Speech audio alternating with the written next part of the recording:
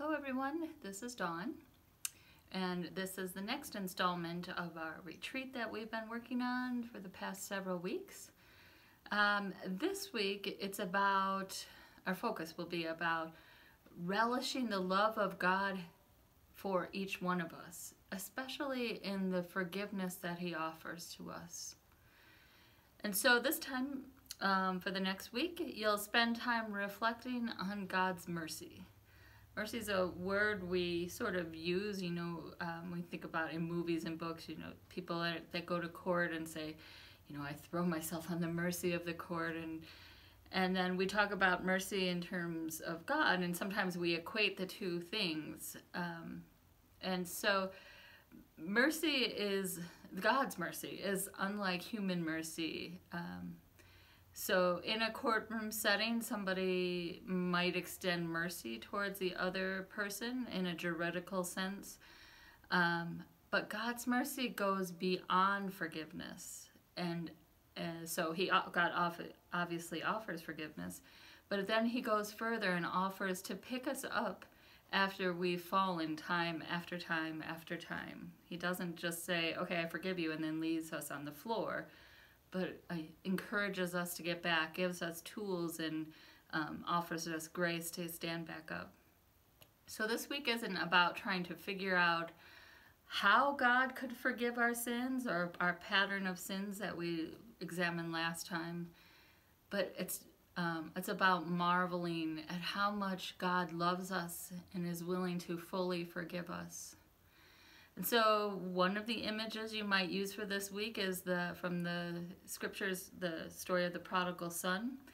Um, and I'd encourage you to find an image. There's so many people have painted or drawn or um, sculpted different images of the prodigal son. I'd invite you to go online and find one that resonates with you.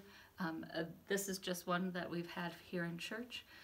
Um, and so use that image and think about the forgiving father just embracing his son, his son who had done everything wrong and, you know, basically spat in his face. And so he offers forgiveness. And most of the paintings of the prodigal son involve the father embracing the son. So find one that resonates with you um, and imagine you in that brace, embrace and stay in that spot for a while, feeling what it is to receive God's mercy.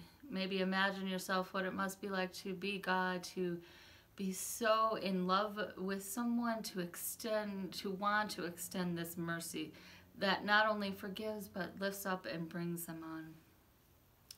I have created another uh, PDF resource. Of course, our printer here isn't working moment at the moment, so you can look at yours. I just can't hold it up. um, so that will help you throughout. Um, it has some thoughts about what the week's about and then uh, a way to pray with. Um, and again, those prayers, they're written. Um, they might not be in your language, so change it to be in your language. It's just meant to be a guide to help you start a conversation with God. So I have one more image to offer as we think about this uh, week. Um, if you're a parent or a grandparent or uh, an aunt or an uncle or have watched little children and as they begin to learn how to walk and you stand there and you watch the child take a few steps and you're all excited and then the baby falls down or the young person falls down um, and so in that response use that response. Now if as the adult you frowned at the baby and said you know you'll never learn and how disappointed you are in them the child's self-image would be quite negative and they would be slower to get up if at all. They would stay on the ground.